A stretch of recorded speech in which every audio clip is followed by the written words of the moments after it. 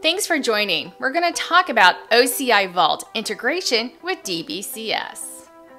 First, let's provision a database with customer managed encryption keys. You'll first go to the OCI console to create a DB system. Click on Create DB System.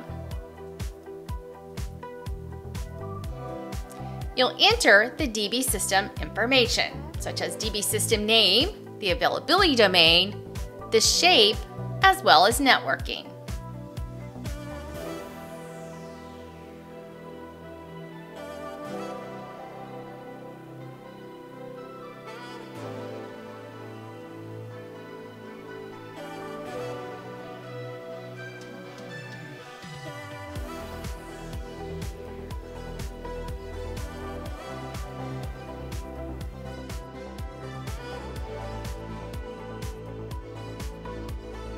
Then press Next.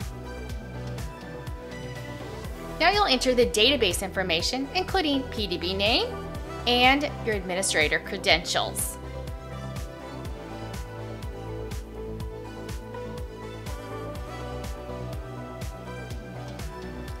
Then you're going to click on Show Advanced Options and then the Encryption tab. This is where you can integrate or create customer managed keys with OCI Vault. When you click on Enable Customer Managed Keys, you will enter the Vault information. The OCI Vault must be pre-created before you get to this point. And then press Create DB System.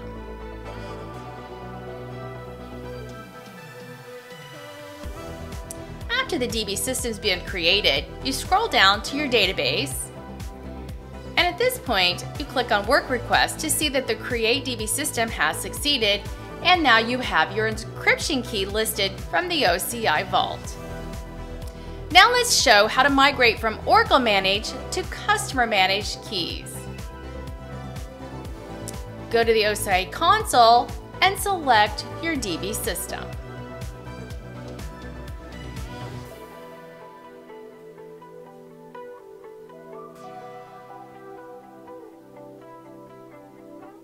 Once you've selected your DB system, you'll scroll down to the database. And here you will see that the encryption key is Oracle Managed Keys. At the top, click on More Actions and Manage Encryption Key. Again, you can select Use Customer Managed Keys. You will see that there may be a short period of unavailability while the key management configuration is updated. Again, enter the OCI Vault information that you've pre-created previously to this step. And then you will need your TDE wallet password as well and save changes.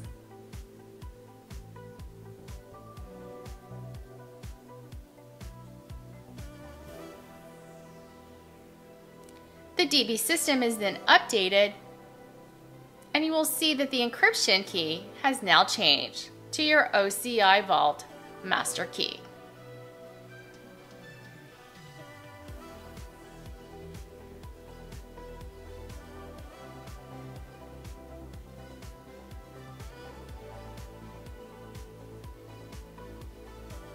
If you scroll down, you can look at workload request or work request to verify that the migration of the database keys to OCI Vault has been completed.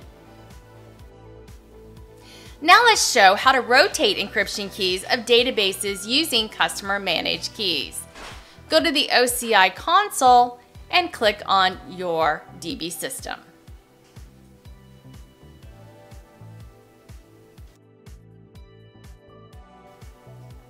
Scroll down to your database and click on your database name.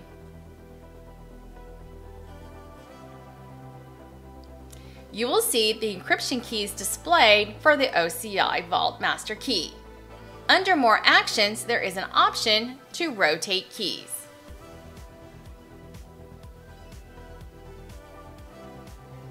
Confirm that you want to rotate your customer managed keys.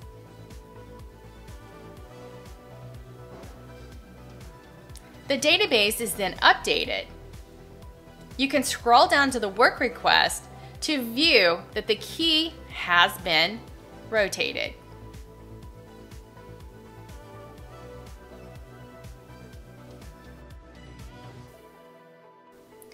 Thank you for joining us today.